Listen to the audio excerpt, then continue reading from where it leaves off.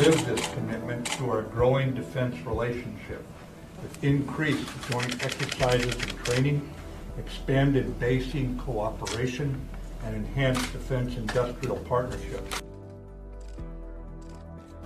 Also, I want to, to confirm that Greece considers the United States to be a reliable strategic partner and ally, the only one, I dare to say.